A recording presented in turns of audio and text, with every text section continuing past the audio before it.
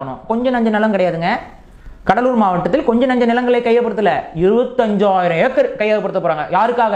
என்எல்சிக்காக கையெழுத்தப்பட போறாங்க. என்எல்சி நிறுவனத்துடைய விரிவாக்கத்திற்காக அடுத்த கட்ட சுரங்க விரிவாக்கத்திற்காக இருபத்தி ஐயாயிரம் ஏக்கர் தமிழர் நிலம். இப்ப இங்க கேள்வி என்னவாக மாறுது? ஸ்டாலின் அவர்கள் ஒரு தமிழக முதலமைச்சராக இந்த கருத்தை பதிவு செஞ்சிருக்கணும். என்ன செஞ்சிருக்கணும்?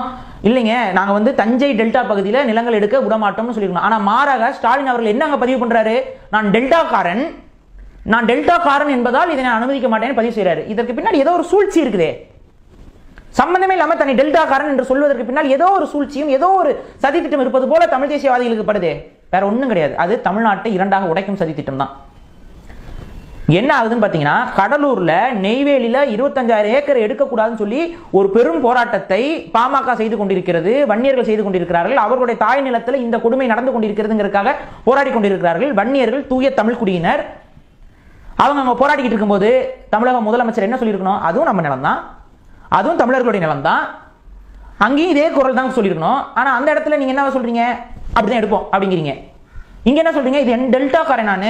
என்னோட நிலத்தை நான் எடுக்க விட மாட்டேங்கிறீங்க. இது என்ன மாதிரியான உளவியலை உருவாக்கும்?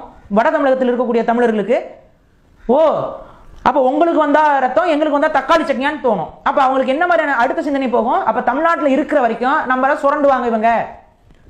இது என்ன கூட்டு சதி திட்டம் மாதிரி இருக்கு? தமிழ்நாட்டுடைய பிரிவினைக்கு விதை போடுவது போல இருக்கிறது இந்த பேச்சுக்கள்லாம். ஏன் இதுவும் எனது தாய் நிலம் இதுவும் எனது தாய் நிலம் என்னோட தாய் நிலத்தில் எந்த இடத்துலையும் நீங்க எடுக்கக்கூடாதுன்னு தானே சொல்லணும்? இப்போ என்எல்சியில் இடம் எடுக்கிறதுக்கு பார்ப்போம் என்எல்சியை பொறுத்த வரைக்கும் அது அரசாங்கத்துடைய நிறுவனமாக இப்போ வரைக்கும் இருக்குது. ஆனால் இதே பிஜேபி அரசாங்கம் என்எல்சியை தனியார் மயப்படுத்துவதற்கான அத்தனை வேலைகளும் இறங்கி கொண்டிருக்கிறது. இப்போ அது ஒரு தனியார் நிறுவனமாக மாறப்போகுது என்எல்சி. இப்படி இந்த தனியார் நிறுவனமாக மாறக்கூடிய என்எல்சிக்கு இவ்வளோ அவசர கதியில இருபத்தஞ்சாயிரம் ஏக்கரை இந்த அரசியல்வாதிகள் எடுத்து கொடுக்கணும் அப்படிங்கிற அவசியம் இருக்கிறதா? அவன் தனியாராக மாறினதுக்கப்புறம் விலை கொடுத்து வாங்கிக்கிட்டோம் மக்கள்கிட்ட இருந்து. விலை கொடுத்து வாங்கட்டும். பிடிங்கி கொடுக்கணுமா அரசாங்கம்?